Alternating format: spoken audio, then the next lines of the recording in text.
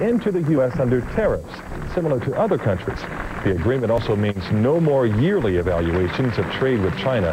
The communist country agreed to open up its markets after being accepted into the World Trade Organization. Computer giant Microsoft says that it's targeting Atlanta to stop counterfeit operations. The company says that Quastar Computer, Streamline Data Systems, and Tierra Computer all distributed illegally copied software. Microsoft sent warnings to the companies, but after no changes were made, they filed charges. You can look for a couple of simple things to determine if software that you buy is bootlegged. If the price seems to be bulky, but now you can have access to the World Wide Web in the palm of your hand. Well, still, we've all been tied to some type of keyboard to send and receive an email. Well, that changed today. Tonight, Clear News reporter Cynthia Vell shows us how you can receive email even without access to your computer. Cynthia, good evening. Good evening, Calvin. You can call a toll-free 800 number and a computer reads you your email.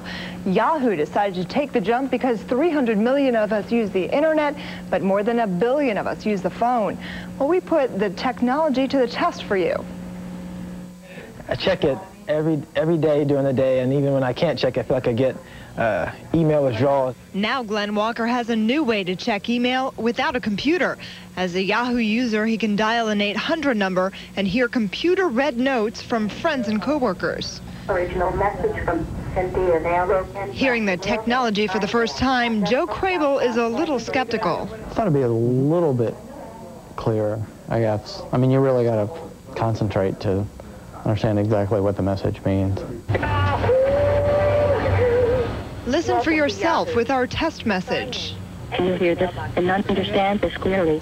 But with email becoming almost essential in work and play, the ability to check it without a computer is a great convenience. You've got to have an electronic account in order to, you know, receive any kind of mail as far as uh, friends or family, and even, you know, with your resume or any kind of businesses, even you need to have an you know, email account.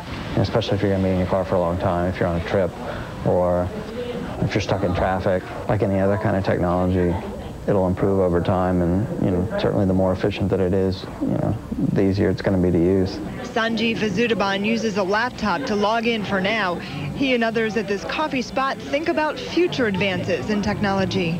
Everything hooked up to the internet eventually is going to be the future. A robot would be a good idea. I'd like to see an affordable way to uh, use my cell phone in an airplane. I don't love technology. I think it's taking away some of our socialization Yahoo's 800 number also gives you the latest news and weather and lets you set up a voicemail account. You can find a link to it on our website, www.wgcltv.com.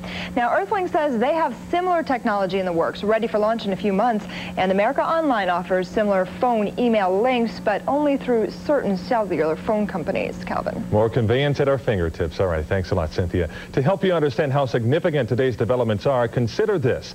The World Wide Web began in March of 1989. A European researcher proposed the project as a means to better communicate ideas among members of the far-flung organization. Have you checked your favorite store lately?